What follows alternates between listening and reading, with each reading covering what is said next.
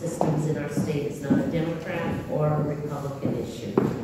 We all have a stake in better preventing and treating mental illness.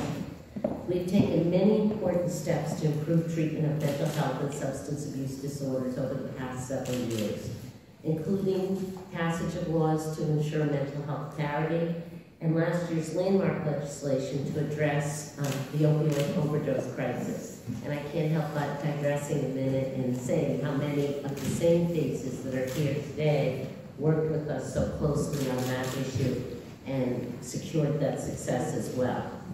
Um, Rhode Islanders who need immediate treatment are waiting months for insurers to authorize reimbursement to providers. Providers are waiting up to six months to see patients Patients need a plan for follow-up care when they're discharged, similar to what we did with the Gold